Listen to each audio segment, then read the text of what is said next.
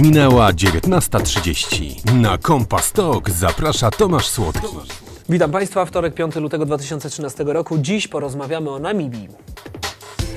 Językiem urzędowym jest angielski, do 1990 był także niemiecki Afrikaans, państwo w południowo-zachodniej Afryce leżące nad Oceanem Atlantyckim. Oglądacie Kompas Talk. Gospodarka tego kraju powiązana jest z Republiką Południowej Afryki. Górnictwo i przemysł to główne gałęzie przemysłu. Kraj zamieszkuje 2 miliony mieszkańców. Zapraszam na Kompas. Kompas.org.pl A naszym gościem jest Dorota Wasilewska, pilotka wycieczek zagranicznych. Witam ponownie w naszym studiu. Dobry wieczór. E, RPA powiązana mocno z Namibią jest, a w zasadzie Namibia z RPA, bo zaczęło się od niepodległości. Tak, tak, bardzo późno uzyskanej przez Namibię. To lata 90. ubiegłego stulecia, także faktycznie Namibia jest takim młodym krajem niezależnym w Afryce, ale powiązana jest również monetarnie, jako że dolar namibijski, który jest walutą płatniczą w Namibii, jest w stosunku 1 do 1 do randa, czyli waluty RPA i właściwie można się posługiwać i tą, i tą monetą przebywając w Namibii.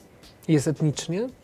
E, Tak, bardzo zróżnicowanie. Namibia w ogóle jest krajem bardzo zróżnicowanym. To dopiero wjeżdżając tam stopniowo, zaczynając od bezkresnych piasków, w których nie widać końca, z czasem pojawiają się fantastyczne skały kanionów, a już później wkracza taka roślinność typowo trawiasta w parku Etosha, w parku narodowym. Pięknie. Tak, pięknie, bo bardzo różnorodnie, etnicznie również. Mhm. Y, czym płacimy? Mm, Dolarami namibijskimi albo randem. Mhm. To lokalna waluta. Tak, tak, tak. Już o niej wspomniałam przed chwilką. Są bankomaty? Z tym jest trudno. W większych miastach tak. W stolicy, w Windhoek trzeba się raczej zaopatrzyć w gotówkę na dalszą drogę. Aczkolwiek, prawdę mówiąc, też trzeba mieć przygotowanym, żeby opłacać wyroby rzemiosła, mieć troszeczkę takich e, pieniędzy na wspomaganie miejscowych, którzy czy nam pozują, czy od którychś coś chcemy kupić, bo tak czy siak płaci się z reguły za takie pakiety już w tych właśnie większych miastach. Jeśli y, chcemy przyjechać do Namibii, skończą nam się na przykład pieniądze, euro-dolar są... Są wymieniane.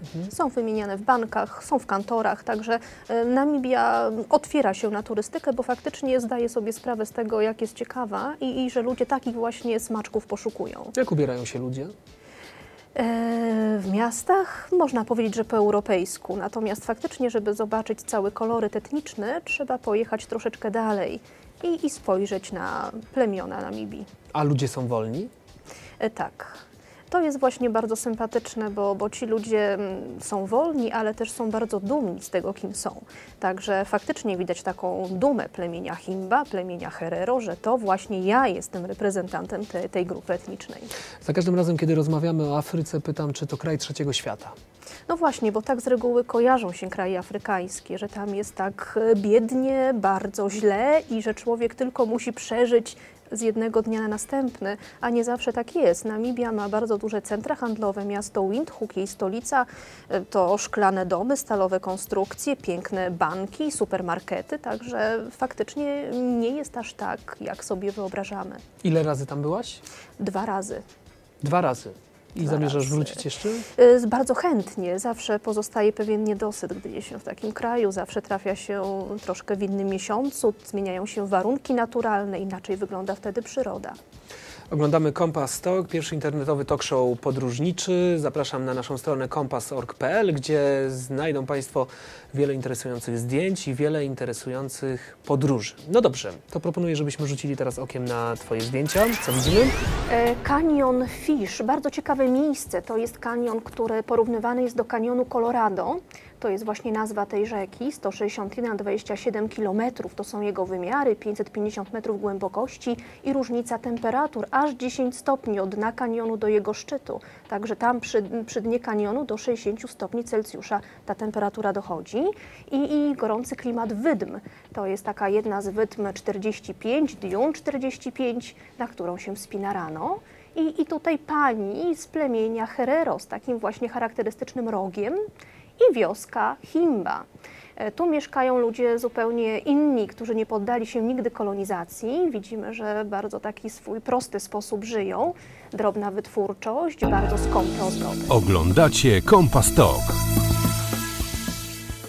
Wracamy do naszej rozmowy. Dorota Wasilewska cały czas w studiu, y, skąpo ubrani. Skąpo. I tak zawsze? Himba tak, nawet gdy idą do miasta, gdy robią zakupy w supermarkecie, idą tak jak pracują w wiosce, to co mają na sobie, że tak można powiedzieć, z dużym takim nadużyciem może tego słowa, ale faktycznie to są ludzie e, dumni z tego, że żyją od wieków, od pokoleń w taki właśnie sposób. Nikogo to nie dziwi? Nikogo to nie dziwi, wręcz przeciwnie, wyjeżdża się specjalnie, żeby zobaczyć te ich wioski. To są ludzie, którzy bardzo chętnie witają, zapraszają i, i nie ma takiej, jak to się mówi czasami, cepeli turystycznej, że to jest taka wioska, która ożywa, gdy przychodzą turyści. Oni cały czas tam żyją. Bardzo chętnie dzielą się swoimi rytuałami, swoimi zwyczajami, zapraszają do domów i właśnie można dowiedzieć się różnych ciekawostek, na przykład o tym, że kobiety Himba pokrywają swoje ciała ochrą, taką czerwoną glinką, również włosy nią pokrywają, takie błotne kuleczki wiążą na końcówkach włosów, to jest misternie upleciona, pomalowana ochrą fryzura i dodatkowo jeszcze ich elementem higieny jest codzienne okadzanie się dymem. Toaleta pani Himba trwa 3 godziny każdego dnia. E, Panie właśnie wykorzystują ochrę, chroni od słońca, chroni przed owadami i również dym. Dym z ogniska, który też e, pełni funkcje ochronne i, i zapachowe. To są dymy wonne. Okadzając się, zastępuje to rodzaj kąpieli. Panie Himba nie kąpią się używając wody. One tylko okadzają swoje ciało Całe dymem. życie? Całe życie, tak. Zabierają, że tak można powiedzieć, część tego dymu do takich specjalnych pudełeczek i to zostaje na cały dzień jako dezodorant. Gdy pani się zmęczy, z tego pudełeczka szybciutko tym dymem wypuszcza kawałki tego dymu, że tak można powiedzieć, na poszczególne fragmenty swojego ciała i w ten sposób się odświeża. A panowie? Y, Tutaj higiena panów, y, y, takie jakby specjalnie o niej nie mówiono, może jest troszeczkę mniej przestrzegana tak rygorystycznie jak u pań, nie zabiera aż tyle czasu. Nie chodzi tutaj o ten piękny te pokrycie ochrą, czy te pięknie, misternie uplecione fryzury.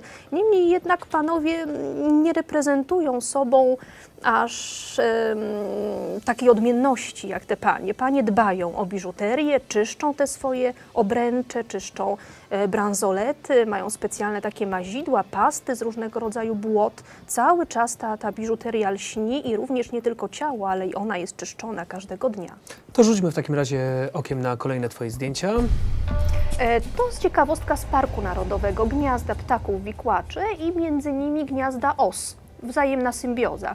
Osy chronią przed y, y, y, drapieżnikami, które mogłyby zagrozić tym właśnie ptakom. Czasami całe drzewa są tak właśnie oblepione takimi domami ptaków tkaczy.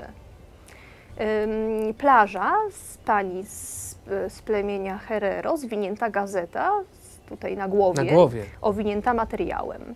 A to jest największy na świecie fragment kryształu, 14 ton waży i, i również tego słynie Namibia.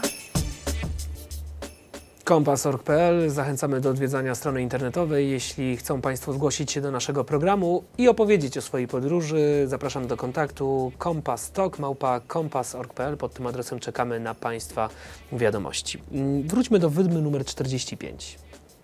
Ciekawostka, to jest numer wydmy, po prostu ponumerowano je i stwierdzono, że ta będzie największą atrakcją turystyczną, ponieważ również podejście do niej jest strome, a oprócz tego ma wysokość ponad 200 metrów. Tak więc faktycznie będąc na niej widać bardzo ciekawą perspektywę całej pustyni e, z uschniętymi drzewami, z tymi wydmami pomniejszymi, ciągnące się aż po horyzont. No i faktycznie, żeby tam się dostać, trzeba wyruszyć wcześniej rano, gdy jest jeszcze ciemno, to znaczy przed piątą, żeby zacząć wspinaczkę, bo gdy słońce już wzejdzie na niebo, to jednak jest to duży wysiłek brnąć w piachu po kolana.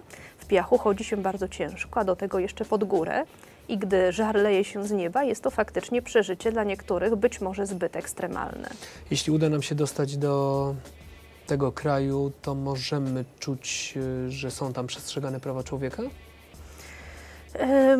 Trudno na ten temat tak e, wnikliwie powiedzieć, dlatego że Tutaj wydaje się, że te grupy są od siebie bardzo niezależne, że nie przeszkadzają sobie nawzajem, cenią się, bardzo są dumni ze swojej niepodległości, jednak nigdy też tak do końca nie wiadomo, jakie tam w głowach tych ludzi drzemią różnego rodzaju aspekty dotyczące tego, co było, no bo przecież ta niepodległość jest całkiem świeża, także być może jakieś tam niesnaski względem RPA co jakiś czas się w głowach tych ludzi pojawiają, ale nie słychać o żadnych niepokojach, nie ma żadnych wystąpień zbrojnych, buntów, także turysta może czuć się bezpieczny. A mieszkańcy są wolni?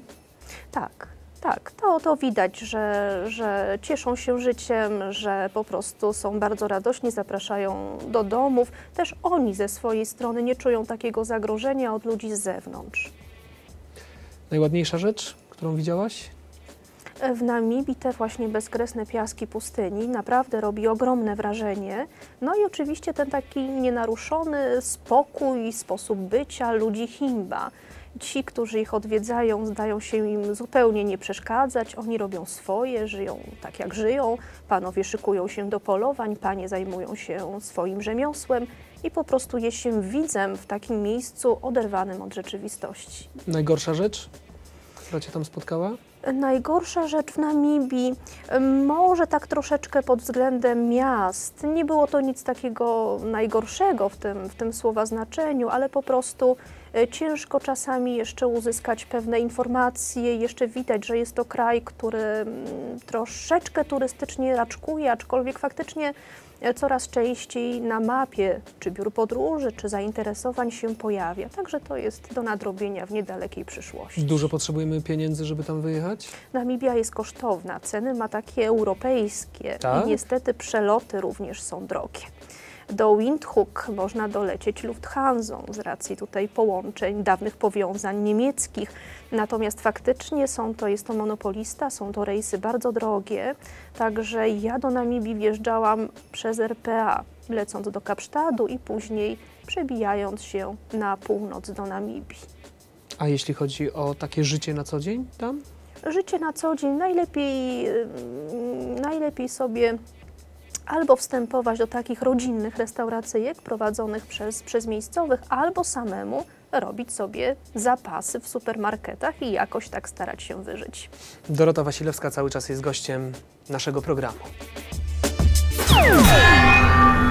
Kompas.org.pl Za 18 minut godzina 20. Oglądają Państwo cały czas Kompas Talk. Zapraszamy na stronę kompas.org.pl. Zapraszamy do wrzucania zdjęć ze swoich podróży. E, to pierwsza strona podróżnicza, w której mogą Państwo stworzyć własną gazetę podróżniczą. E, nazywa się to Podróż w czasie. Wystarczy się zalogować, dodać zdjęcia, opisać te zdjęcia, no i stworzy się właśnie własna e, gazeta. Wracamy do rozmowy. Zostało nam jeszcze, zostały nam jeszcze dwie minuty. Dlaczego Europejczyk powinien zobaczyć głębokie kraje afrykańskie? Żeby zastanowić się nad sobą. Tak myślę, że właściwie takie podróżowanie jest nie tyle sposobem, żeby zaliczać, żeby poznawać nowe kraje za wszelką cenę, ale daje taką refleksję na to, jak my żyjemy, co my mamy, jak z tego korzystamy. Także tutaj właściwie takie podróżowanie powinno dać taką zadumę y, z tego, czym potrafimy się zająć, czy potrafimy się cieszyć z tego, co, co, co miejscowi, czy tak samo odbieramy rzeczywistość. Także to nie jest tylko zgłębianie nowego, ale także umiejętność porównania. I Afryka jest bardzo dobrym materiałem na to, gdyż pokazuje, jak ci ludzie żyją zgodnie z naturą, z dzikimi zwierzętami i jak z tego czerpią. Oni nie zmieniają natury do swoich potrzeb, tylko starają się z nią współgrać. Dziękuję bardzo za kolejne nasze spotkanie. To już trzecie. Dorota Wasilewska, pilotka wycieczek zagranicznych. Mam nadzieję, że przyjmiesz jeszcze e, zaproszenia. Widzimy się na pewno 9 marca podczas czwartego oka podróżnika, gdzie opowiesz o Peru o Peru bądź o Boliwii, w każdym razie o, Boliwii, o którymś z tych no, krajów, które tak. są również bliskie mojemu sercu. Dziękuję bardzo Dorota Wasilewska, a ja zapraszam y, Państwa na wydarzenie walentynkowe Single Party w Warszawie w klubie 70. Jeśli chcą Państwo wybrać się na tę imprezę, mamy dwa pojedyncze zaproszenia, wystarczy do nas napisać kompastok małpa kompas.org.pl, podam jeszcze raz adres e-mail kompastok małpa kompas.org.pl. Zapraszam wszystkich, y, walentynkowe Single Party w klubie 70. 70. To tyle na dziś. Bardzo dziękuję za spotkanie.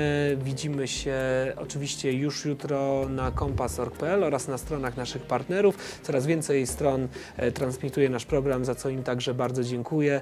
No i dziękuję przede wszystkim naszym wiernym widzom. Coraz więcej osób też jak śledzimy statystyki ogląda nasze programy. Jest nam bardzo miło. Wspierajcie nas w robieniu tego programu, odzywajcie się i przybywajcie także do naszego studia. Kompas Talk, małpa kompas.org.pl. Do zobaczenia, mówi Tomasz Słodki.